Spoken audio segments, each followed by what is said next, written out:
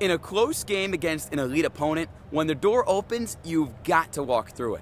Boston College provided Syracuse a man up opportunity in crunch time, and the Orange would turn it over in a 15 13 loss to the Eagles in a rematch of the 2021 NCAA title game. That wasn't the only mistake that SU made in a loss, but for Coach Kayla Treanor, it's definitely the one that stood out. It's just a couple plays. I think offensively, we turned the ball over in a man up. Uh, we had a possession, another possession where we turned it over, and then we weren't really going on a run and draw controls. So we we weren't able to score and get the ball back. So when they were on a run, it was it hurt us that we weren't able to get a lot of draws. Yeah, for us, it's kind of just little things. You know, we had two man up possessions that uh, maybe more than that, but two I can think of right now that uh, we didn't finish on. Like those are two goals that you know could have been like a game changing thing for us. So kind of just dialing in on the little things and making sure we're giving like 100% every day in practice.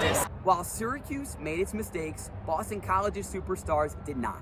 Charlotte North scored three goals off just six shots, but it was actually a sophomore, Belle Smith, who did the heavy lifting, tallying five goals. One of the few bright spots for SU was the return of Megan Carney from injury, but the senior tallied just two points. She'll have to get back in the swing of things next Friday in South Bend when SU starts their ACC tournament run.